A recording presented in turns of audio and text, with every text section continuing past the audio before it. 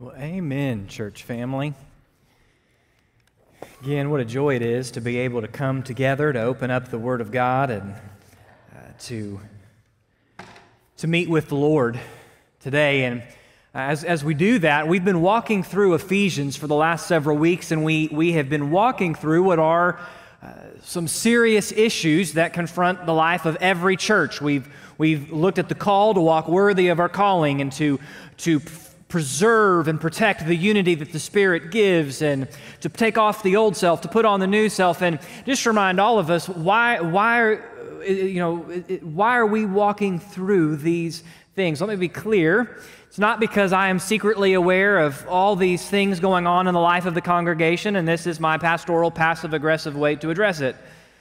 And simply because months ago, God impressed on my heart for us to walk through the book of Ephesians, and the way we do that is simply verse by verse. So, why are we now looking at all these things on unity and the old putting off the old self and putting on the new self? Because by God's goodness, it's just where we are in Ephesians.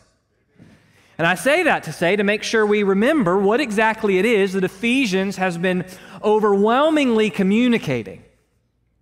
Paul is writing to a group of believers who, remember, are, are living in what is the most prosperous, uh, thriving economic city, uh, diverse, religiously diverse, ethnically, uh, there in the city of Ephesus in what is now modern day Turkey. And he writes to this group of people, just like he writes to you and I, and he, he drives home this point that God is actively at work in this world.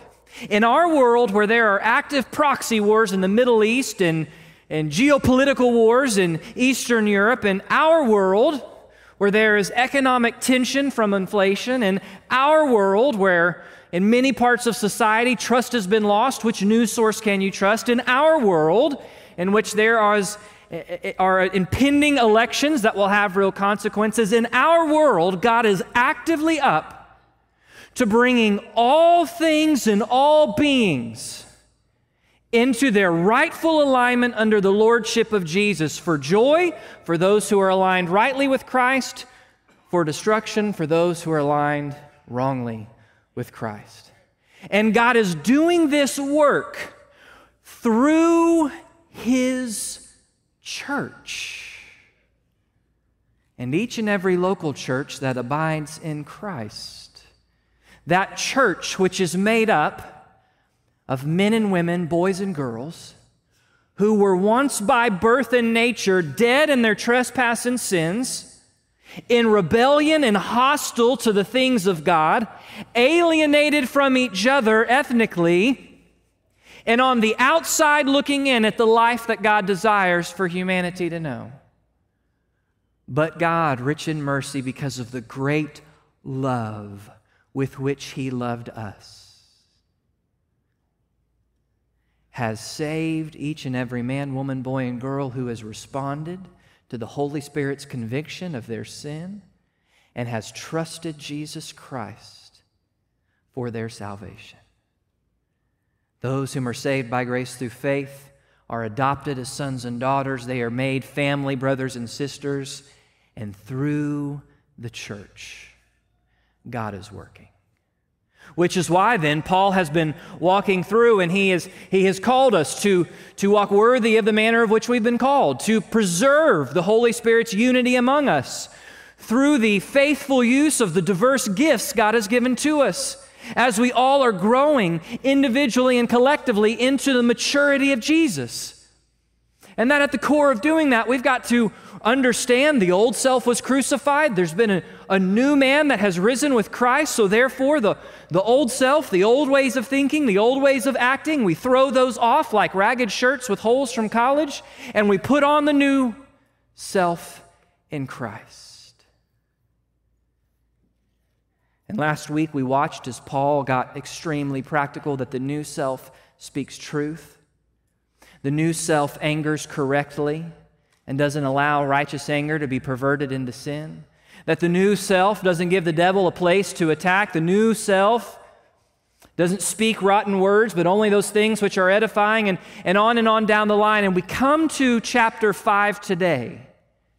And it is not disconnected from all that I've just reminded us of. It is, it is really, it is the buffer, it's the other bookend.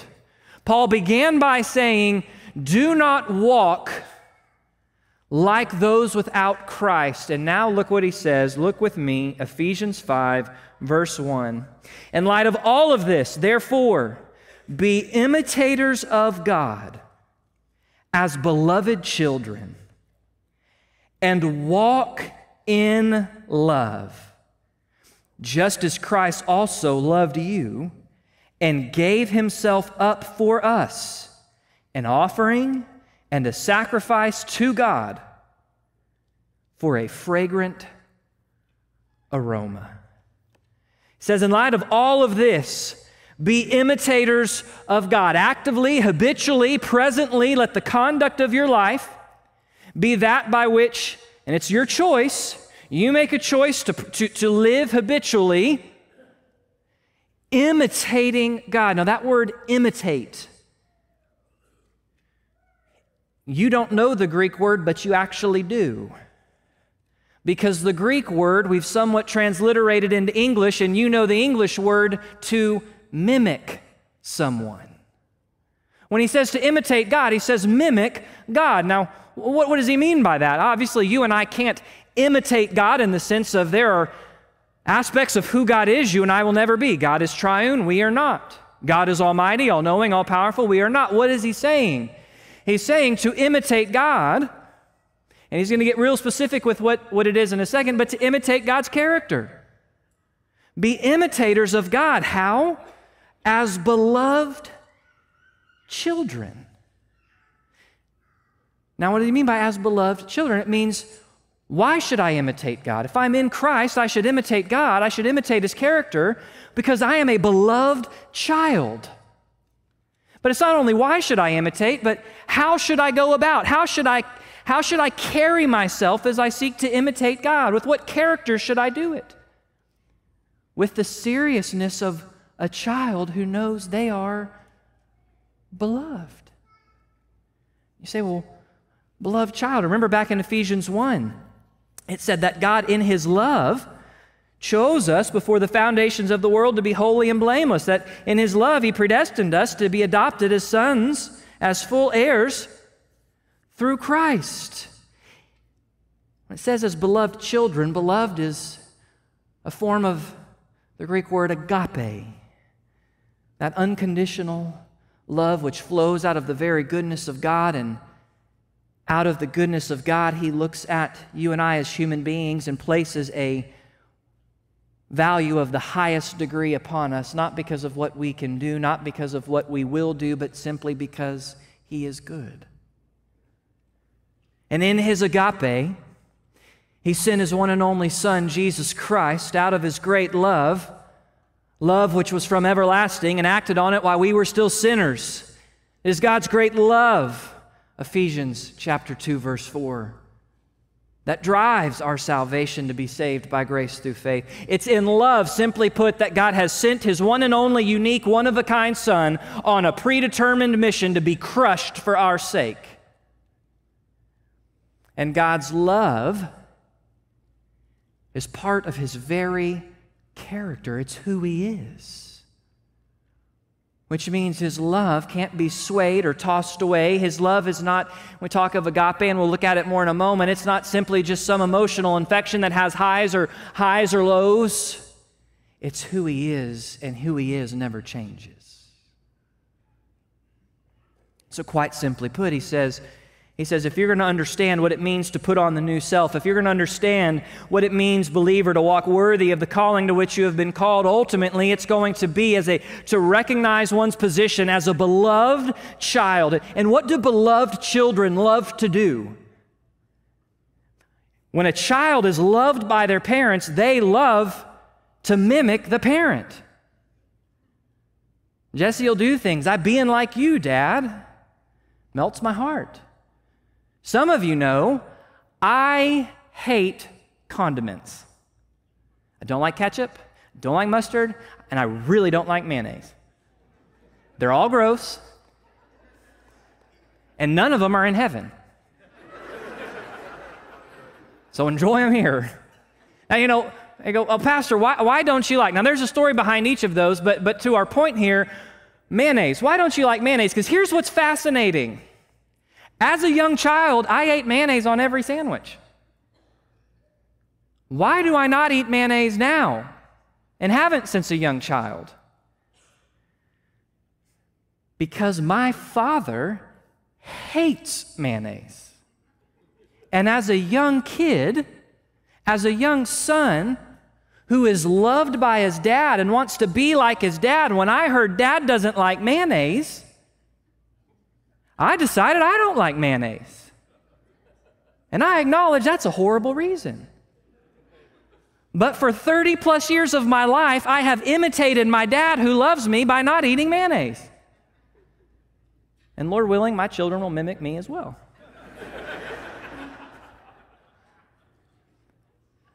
the point is, when you are a child who is beloved and understands and revels in the love of your Father, it is the reason that drives you to imitate your Father.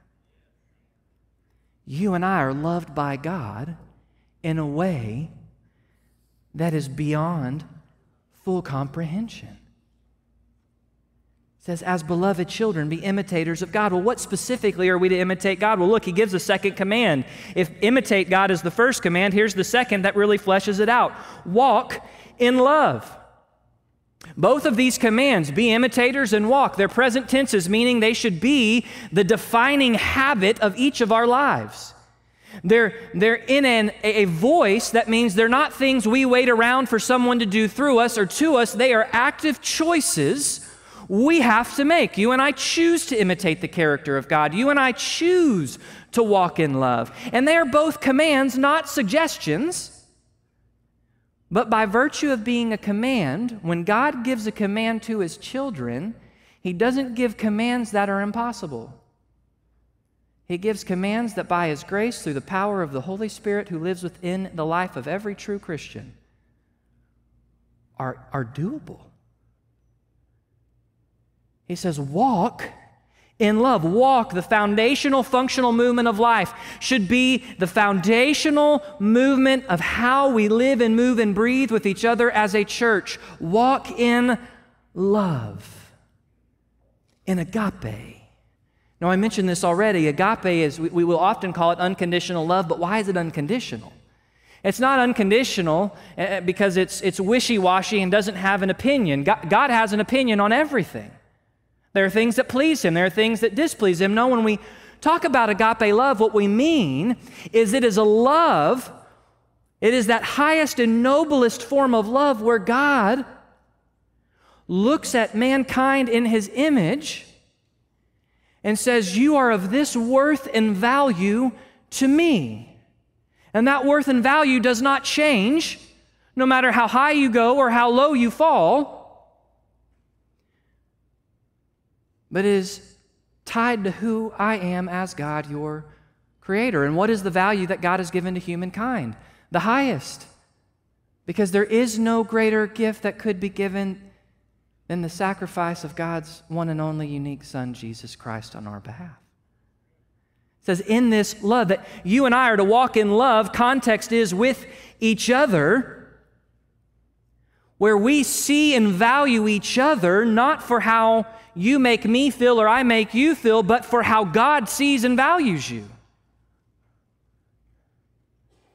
That what drives my thinking, that what determines my decisions, that what spurs on my action is to love you how God loves you. So, what he says, walk in love. Now, if you go, well, this is good, but what does that look like? Well, look back with me. Be imitators of God by walking in love just as Christ also loved you and gave up himself for us. How am I how am I as a member of the body of Christ with all believers of all time and all places, but specifically a visible member of, of the body of Christ that is First Baptist Church Pflugerville. How am I to interact with you? How are you to interact with me? How are we to interact with each other? We are to love each other just as Christ loved us. By the way, it means Christ's love for us, which we'll look at clearly in a second. His love for us doesn't change, He's already demonstrated it. It's set in stone. It is how He has loved us from before we were created. It is how He loved us when we were in dead in our trespasses and sins. It is how He loved us when He gave Himself up as the offering and the sacrifice on our behalf. It's how He loves us even now. And how did He love us? He gave Himself up. Now, it is a unique construction grammatically that's clear in our English Bibles, but most of us are not grammarians and it just goes past us. When it says he gave himself up, the word gave up is literally to surrender, to relinquish oneself to. It says he relinquished, he surrendered himself to be an offering and a sacrifice to God. But it's not just that he gave himself up because he recognized it was the politically savvy thing to do in the moment. It's not that he just gave himself up to be a sacrifice and offering because he was was, was kind of, his hand was forced and there wasn't anything else he could do. No, the way it's constructed, he gave himself. He himself is the one who chose to give himself up. He was a willing participant Jesus did not die because someone forced his hand. He laid down his life willingly. No one took it from him. He did it for the joy set before him. He despised the shame of becoming my sin and your sin on the cross, that we might become his righteousness in Christ and have peace with God. It's reflected when he prays in the garden, Not my will, O Lord, but yours be done. Said the one who came not to be served, but to serve and to intentionally give his life as a ransom for many. It says in Galatians 2:20, I am crucified in Christ, I no longer live, but it is Christ who lives within me, and the life that I live in this body, I live by faith in the Son of God who died and gave himself up for me, who loved me and gave himself up for me. It is the love of Jesus Christ to save you and me, a hopeless sinner, dead in trespass and sins, that drove Jesus to voluntarily raise his hand and say, You want to all abandon me? Go. You want to, you want to beat my head with reeds? Bring it on. You want to whip my body bare of skin so that I'm just one giant wound? I'll take it. You want to take that crown of nail link thorns and beat it into my brow? I'll take it. You want to put me on the most torturous form of death ever scientifically devised by ancient man? I'll do it. And all of that's nothing because what I'm truly choosing to do is I am willingly and joyfully going on that cross to take the just sentence of wrath that your sin and my sin deserves. Jesus says, I do it willingly. Why? Because he loved us. In fact, that word offering there, it's a word for an offering that is brought voluntarily. Jesus gave himself up voluntarily. The word sacrifice is the word used for the, the shedding of the blood of animals to atone for sin. And, and who was the voluntary offering and sacrifice given to? Notice it says to God. Because who was it? Who, who is our sin in rebellion against? God. So it's for God so loved the world, he sent his one and only Son, and his one and only Son so loved us that he gave himself up willingly for the joy set before him. And it is in this self sacrificial, outward looking, generous giving of, of, of oneself that God looked at Jesus' sacrifice and it says, for a fragrant aroma. It means simply that God found it pleasing. It satisfied the justice of God, it satisfied the heart of God. And the implication there for you and me, church family, is that if you are in Christ, you are a beloved child, and we are called to imitate our Father. We are called to imitate God by loving one another the same way that Jesus loves us. We are called to see each other how God sees us. We are called to value each other how God values us. We are called to give up, to surrender ourselves for the good of one another. This passage started by saying, Don't walk like those who are lost without Christ back in chapter 4. What do those who are lost without Christ do? They surrender, they give themselves up to sin. You and I who've been saved by grace, we're called to walk in a manner worthy of our calling. And what does that mean at its core? It means to so love one another that we give ourselves up willingly in sacrifice to serve each other. As beloved children, we are called to imitate God by loving each other like Christ loves us. Now you say, well, how are we going to do that, Pastor? Well, real simply, one, in order to do this, you must know the character of God and the love of Christ in salvation. You cannot imitate somebody you don't know. And you cannot know and experience the overwhelming joy of being beloved by God when you have not been reconciled to Him by grace through faith in Christ. If you are on the outside looking in, alienated by your sin, you cannot imitate God and know the love of Christ. This love, which by the way, First John, uh, John tells us in First John, it is a defining mark of a true Christian. That a true Christian is marked by an agape, self sacrificial, unconditional love for those in Christ. And yet, in many of our churches,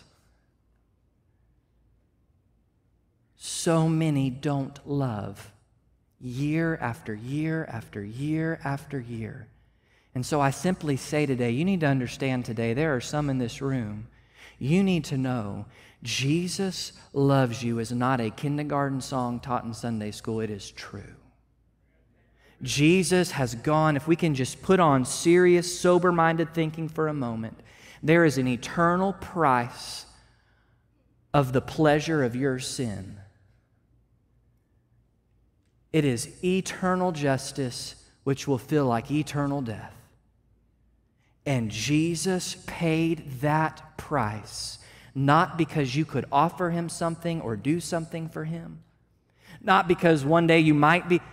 He paid the price knowing you would never be able to earn it, that you would never deserve it, and He paid the price joyfully to have the opportunity to wash you clean in His blood and reconcile you to God where you are adopted as a son or daughter.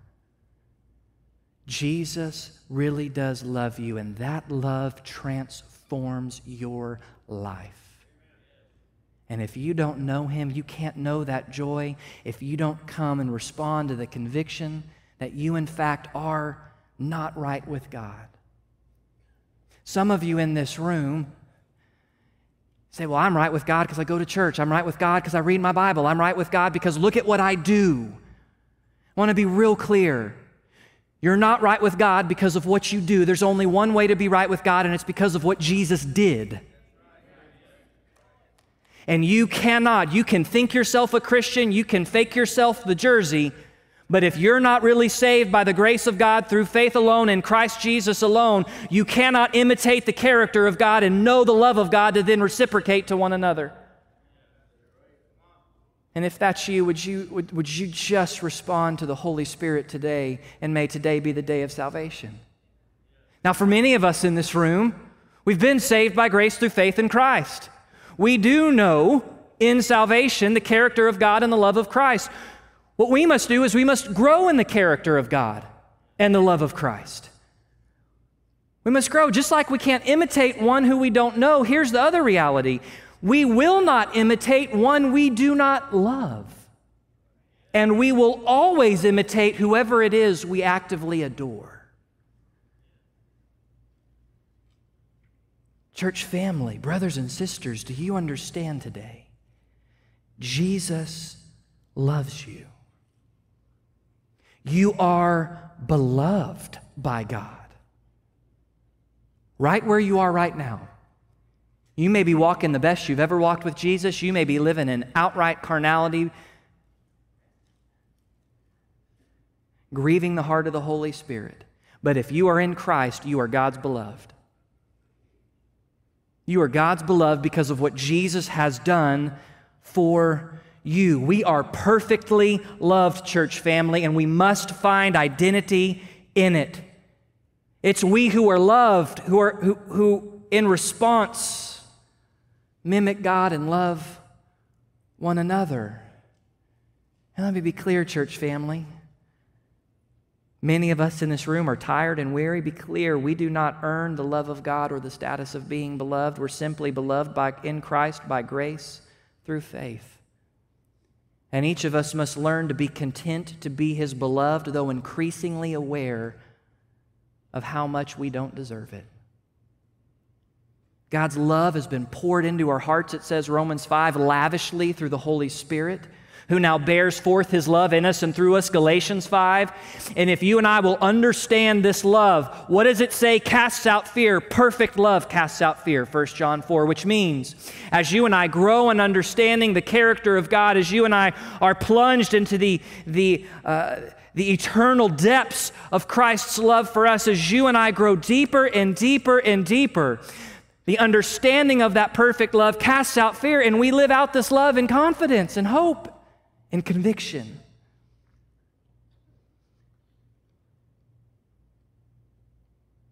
But I wonder how much many of us spend time actively reflecting on the reality of Christ's love for us. Let me put it a different way. What is your perception of God today, brother and sister? Do you struggle to see God and His goodness? Is God a legalistic slave master, the driving head coach, or, or, is your view of God dictated by what he says about himself? See, here's the reality our perception, the thoughts I actively choose to think about God, will directly dictate how I walk with God and how well I grow. So if I entertain thoughts about God, and trust me, church family, all of us are wired differently. For me, is wired wired as someone who's who's perfectionistic and and and, and driven to perform. And what that looks like with God, it is easy for me to make God's love something that I have to earn. The and I can meditate, and that thought can drill over me, and it can produce anxiety over me. And if I keep fixated on that, It'll impact and impair the joy with which I walk with Jesus. But here's the great news the Bible already tells me that thought is wrong. And I can go, that thought's wrong. Instead, let me just sit here and meditate and ponder and rest in the fact that on my best day or worst day, by God's grace, I have been saved and I am beloved. We must grow in the character of God and the knowledge of the love of Christ. By the way, this is why Paul's already taught us one way to pray just two chapters earlier when he said, For this reason I bow my knee and I pray that all of you would be strengthened in your inner man, that you would be able to comprehend what is the, the incomprehensible vastness of God, of his power, of his majesty, of his presence, of his nearness with you, and that you would be able to grasp what is the love of God that is in Christ Jesus. Are we praying that for one another? Are we praying that in our own lives?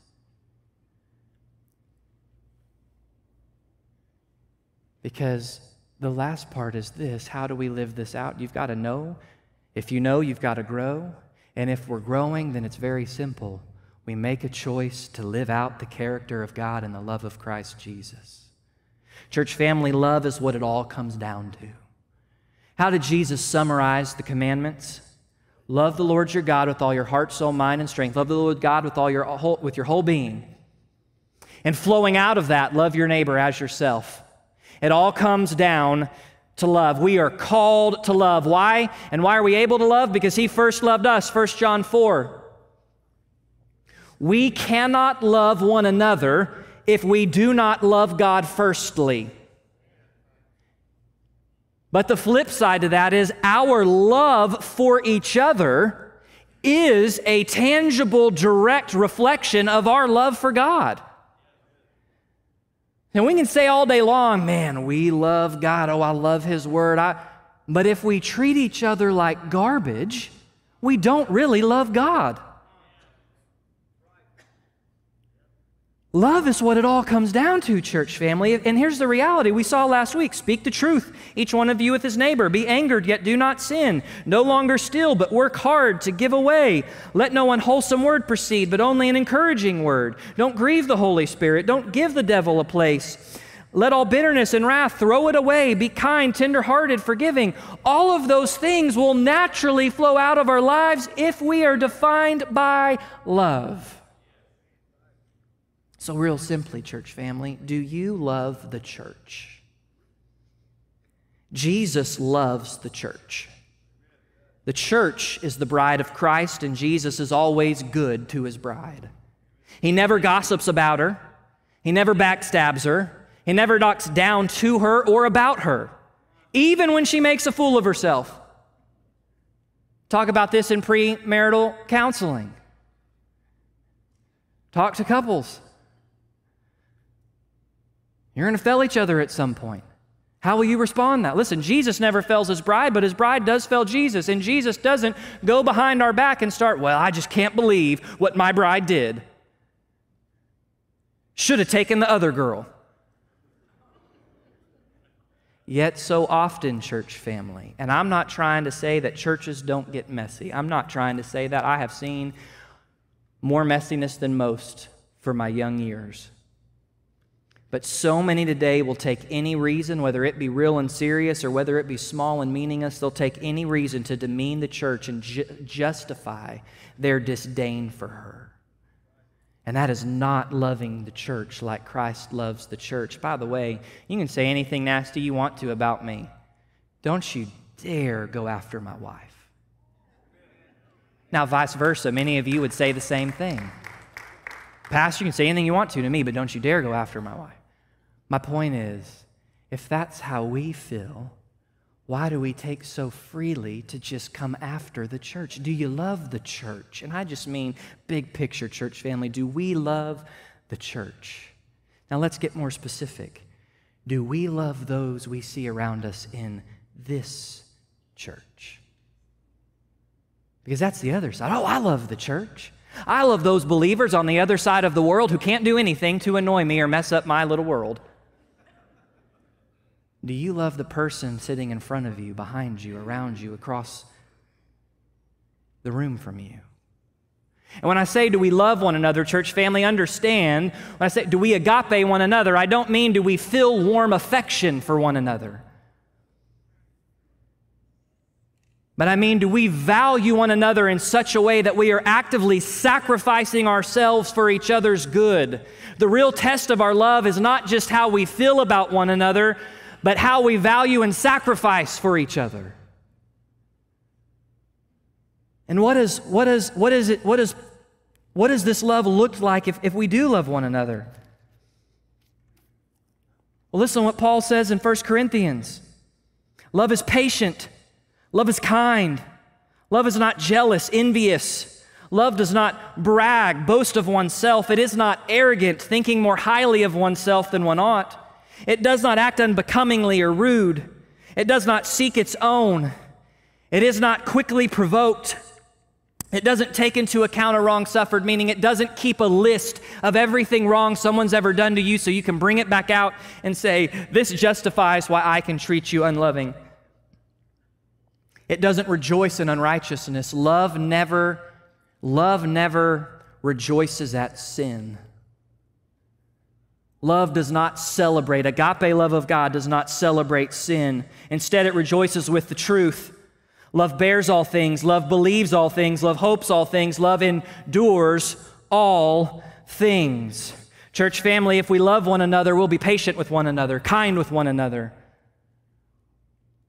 We'll be uneasily provoked with one another.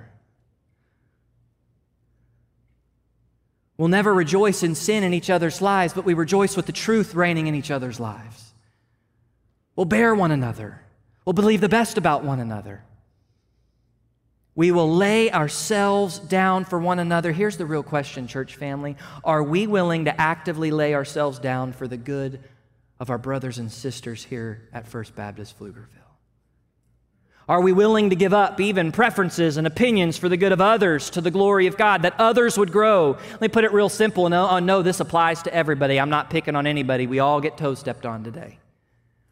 Am I willing to give up my seat, my room, my preferred time, my preference in music, my favorite event, my day off, my finances, my free space? And I can keep adding more and more. Am I willing to sacrifice for your good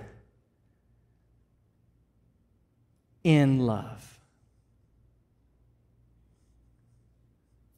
See, here's the reality, church family. Be honest. One of the things I love about First Baptist Church Pflugerville is the love for one another is rich between us. not saying we're perfect. I am saying I've been a part of a lot of churches, and, I, and Bethany and I frequently talk. I frequently brag on the church. I have never felt so loved and cared for by a body of believers as we have here.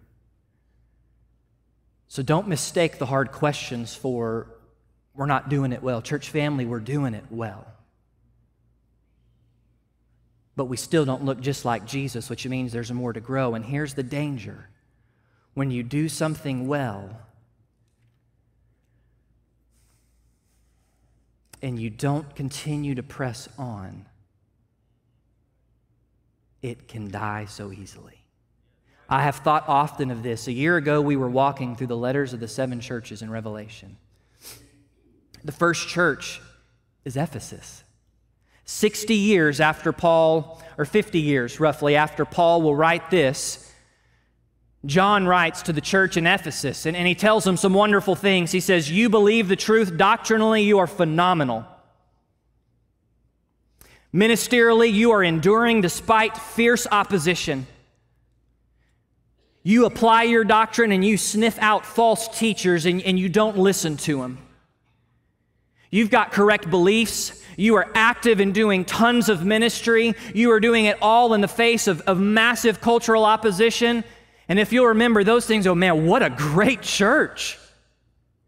And then Jesus says this to them He says, I have one thing against you, that you have lost your first love.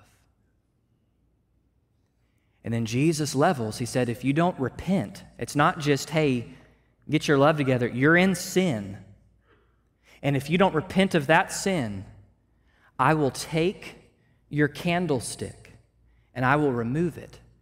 Now, if you'll remember with me the imagery, right before he speaks to Ephesus, he says that Jesus walks amongst the candlesticks, and the candlesticks are the churches. For Jesus to remove a candlestick is to say that local church is no longer walking with him. Listen, God's church, capital C, will never die. But God will allow a local church to die when our love dies. If the first love is to be God, understand the implication. I can't love you if my love for God is lacking, but if I love God, then I love you, which means Ephesus had come to a point where they had right doctrine, they were doing tons of ministry, they were standing firm in the face of opposition, but their love for God had been dying, and therefore their love for each other was weak. Church family, we love well today. But we must ever push forward in growing to love all the better. Years ago, when I was in college, there was a young man from a large country on the other side of the world whom we do a lot of business with, but doesn't like us. That should be enough information for you to know who I'm talking about. This young man was a student at DBU, and he had come to faith in Christ uh, about a year after, um, about a year after our freshman year. And Carl was a man with a fire for Jesus. And Carl would poke his head in and go, Hey guys, do you have time? We need to pray together. Now, you understand, when Carl comes in and says, Do you have time? We need to pray together, it's not going to be three minutes of praying for each other. It's going to be an hour minimum. So Carl poked his head in the RA office one day, one night, and he said, Guys, I just, I've been thinking about this. He said, Galatians chapter 6 says, Don't grow weary of doing good, but, but, but it puts this special focus on, and, and especially serving and loving each other in the body of Jesus. And he said, You know, I see so much in churches today that talk so much about loving our communities, loving the world. And, and, and just to understand, he wasn't saying we shouldn't love our communities and love our world. We should. But he said, I only hear churches talk about loving our communities and loving the world when it seems like the emphasis in the church and Scripture is that we are to love one another. And he said, I wonder if the reason our witness is so weak in the world is because we're so weak at loving each other. And it's interesting because Jesus said, A new commandment I have given you that you love one another. And by this, the world will know you're my disciples. Church family, I rejoice that we love each other well. But may next, this week into next Sunday, the next week, may we love each other even better. Why? Because we imitate God who first loved us. Why? Because you and I are beloved children, loved by Jesus Christ, who freely gave himself up on our behalf. Let's pray. Jesus, we look to you. Thank you so very much that you love us.